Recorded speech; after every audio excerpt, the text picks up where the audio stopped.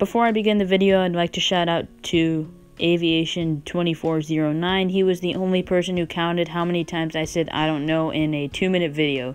So go subscribe to his channel and let's begin the video. Hello everyone and welcome back to another airport update. Today is going to be our third airport update for San Antonio International Airport. Almost everything's the same from our last update, but um, yeah, let's just get started. First up here is an American Eagle ERJ 145. He is getting ready for a flight out to Charlotte. Next up here is an American Airlines A321neo. He is getting ready to push back out to Philadelphia. Next up here is a United Express ERJ 170. He just got in from San Francisco and he is preparing for a flight out to Los Angeles. Next up here is an American Eagle ERJ 175. He is getting ready for a flight out to Chicago O'Hare. Just arrived in and taxiing to his gate is a Southwest 737 MAX 8. He just landed in from Washington Reagan Airport or Aviation 170's airport. Parked at the gate is a American Airlines A319. He is still in the U.S. Airways American West Heritage livery. Um, anyway, he is getting ready to head out to Charlotte. And finally, to wrap up the A terminal, is a United 737-800 in the new livery. I love this new livery so much. Anyway, he is going to push back for a flight out to Newark. Currently pushing back is a Frontier A320.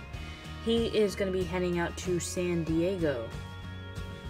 Just taxiing by and is now waiting for the Frontier A320 to push back is a Aeromexico 737 MAX 8. He is preparing for a flight to Mexico City. Next up here is a Southwest 737-200. Yeah, it's very retired at this point, but I mean, this is a pretty Southwest heavy airport. Anyway, he is gonna get he's gonna head out to Atlanta. Next up is a Southwest 737-200 in the Colorado 1 livery.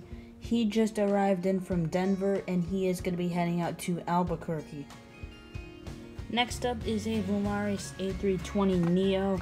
He is at the gate and he is going to be heading out to Guadalajara. Next up here is a Southwest 737-200. He is still in the AirTran livery. He just arrived in from Tampa. Right here we have a Delta double shot. Um, both my Delta aircraft are in this shot here. First up is a Delta 717. He is going to be heading out to Salt Lake City. And behind him is a Delta A220.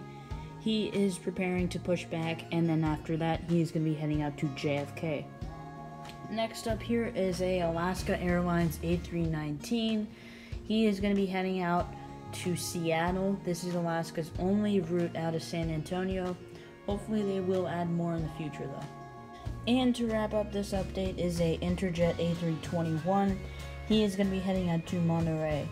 Well, that about does it for this airport update. Hope you guys enjoyed. And um, nothing really new in the update, but I still did do. I still did it.